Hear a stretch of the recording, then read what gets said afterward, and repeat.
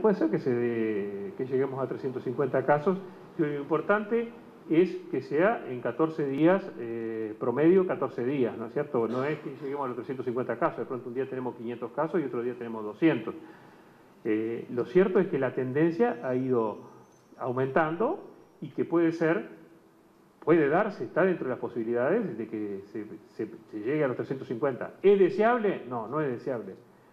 Como se dijo en su momento, 350 es eh, pasar a naranja como país y 900 es pasar a rojo, de promedio de 14 días móviles. 93% de los casos están en 5 departamentos y 80% de los casos están en Montevideo Canelones y 63% de los casos, o 66%, no me acuerdo ahora exactamente, 63% en Montevideo. Entonces, focalicemos, me- metamos ganas en Montevideo, ahora como en su momento hicimos con Cerro Largo, con Colonia, hicimos con Rivera.